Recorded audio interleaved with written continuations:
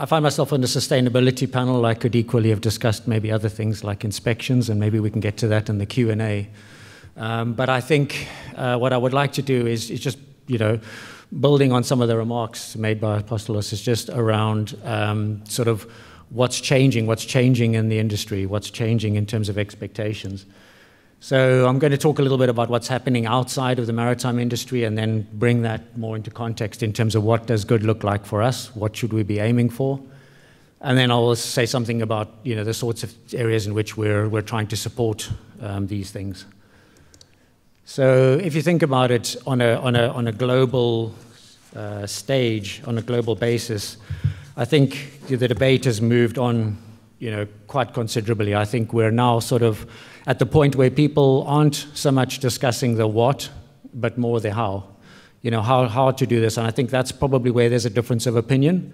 So opinion might be sort of uh, uh, around the, you know, that the, the necessity to do something. I think people are beginning to understand that. And I think um, you know, one of the very positive and proactive things, you know, in terms of the, the, the, questions to the panel is that, you know, the IMO and the shipping industry has actually taken a leadership position by saying they want to do something about this. And I think that's, uh, that's very good.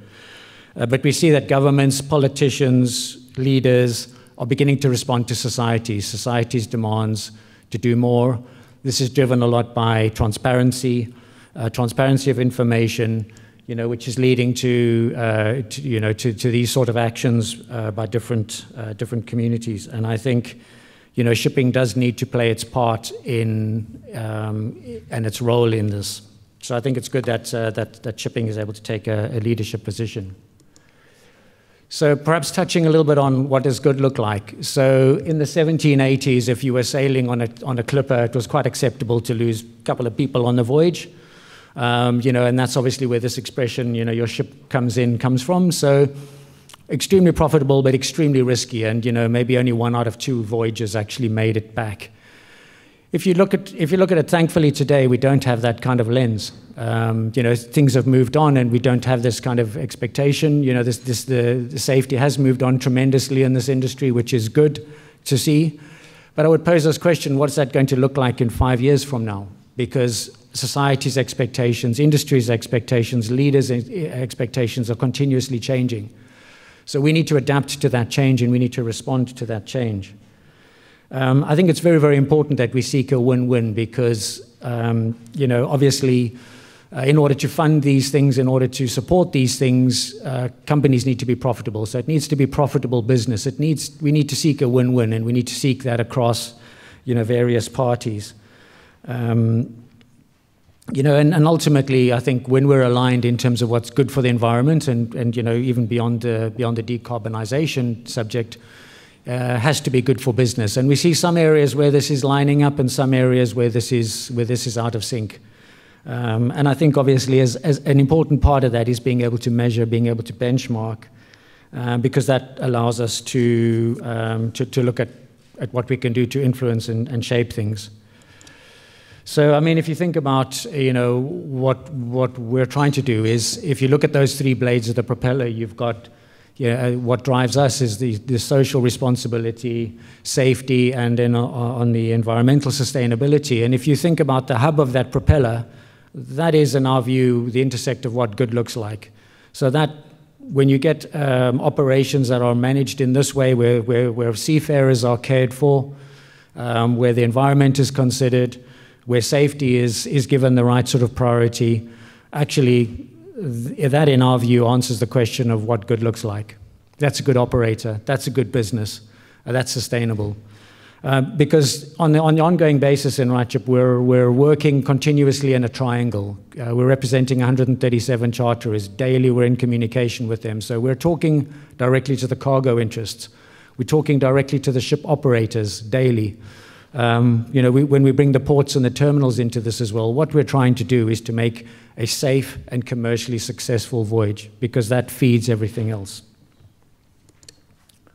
Touching a little bit on the greenhouse gas rating and, and you know, to stress that it's a relative measure of efficiency. It's not an absolute measure.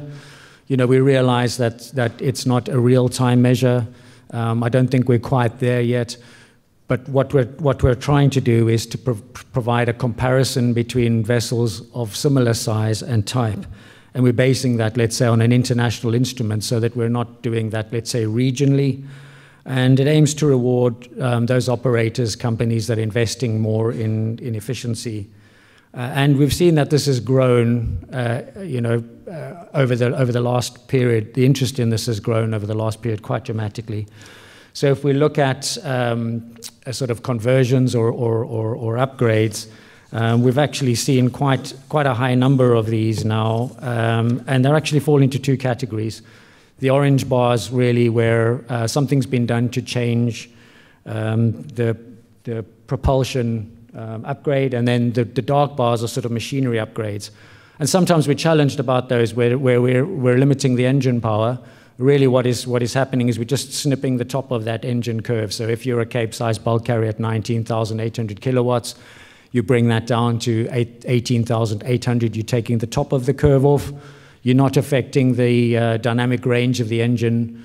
Um, it's not affecting the, um, uh, the engine performance in the, in the lower ranges, but really what you're trying to do is to limit the opportunity for that extra extra 0.1 or 0.2 of a knot to um, you know to to to increase the power. And we've seen others others have similar thoughts in terms of uh, of, of doing that. So this is just an example of, of, of how sort of the industry is responding, and we're constantly working with operators to evaluate that. And the invitation is there is to check your greenhouse gas rating, which is available, it's freely available, you can view it.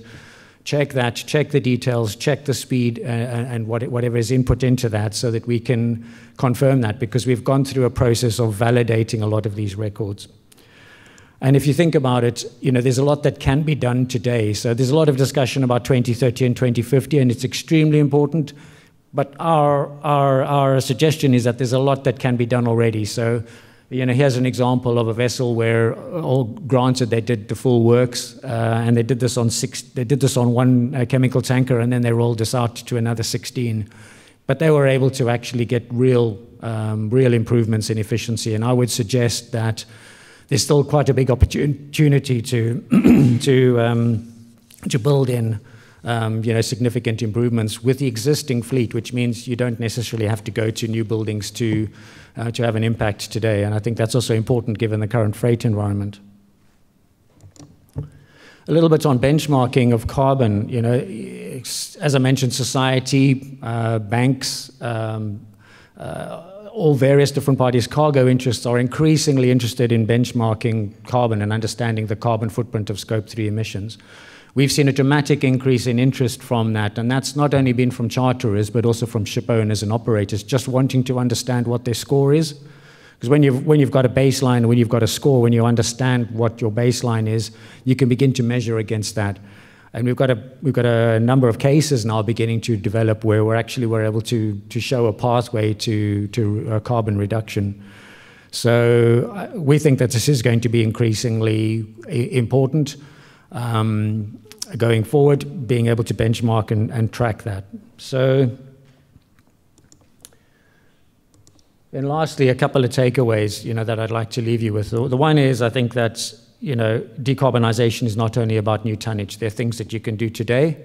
While the focus is on decarbonization, we're also looking at other emissions. But right now, let's say that that's where the, the, the highest focus is. So it is possible to make a meaningful change today via a variety of, of, of, of means. Uh, in a way which, uh, which, which doesn't require necessarily the construction of new ships. I think I've been in the industry 25 years and I can't think of a harder time to specify or decide what to build um, as well as, let's say, a very challenging global environment. So the technical side is very challenging. What do you build? How do you future-proof that? The global environment is very challenging in terms of what does the market outlook look like. Um, you know, and, and the recent uh, drop in Cape freight rates is an example of that. You know, the coronavirus is an example. You get these black swan events that come along and, and completely change, um, you know, the underlying fundamentals of what you expect is going to happen. Um, we're also suggesting that it's important to begin to track and measure um, your carbon. Um, and then, as I mentioned, you know, in, in, the earlier opening comments, let's, if you think a little bit about ESG in society, if you think about the way things are going, if you think about not only the younger generation, but there are plenty of people um, that are beginning to say that, well, we need to take a leadership position. We need to do something about this. And this, I think, combined with transparency, is, is only going to, uh, going to increase. So I think that uh, um, we would say that we need to set ourselves up as an industry, take a leadership position, and adjust ourselves to the wind that we have. Um, and then the other thing I think is very, very important is nobody can do this alone. I think it's, it's vital that we have collaboration to deliver real gains. What I'm trying to do in RightShip is to make the organization more global, make the organization more accessible to ship operators, and work within this triangle so that we can, we can get um, real benefit, you know, so it doesn't become adversarial. It doesn't need to be charterers against owners. You know, let's work on finding a way to collaborate where the charterers are willing to come, you know, to, to, to, the, to, the, to the table I guess only off the back of real demonstrated performance, not promised performance, and I think that's not an unreasonable request. So we can see that uh, that conversation's beginning to develop. Then I've got uh, one minute left, really, just to say a little bit about more generally what, what we're doing at RightShip. Um, in, in, addition to, to the globalization I mentioned, we've added 24 people in the company. Uh, that's to improve, improve our accessibility and our responsiveness. Uh, we're also increasing our, um, we're, also, providing more access to our platform and the ability to interact and engage with us.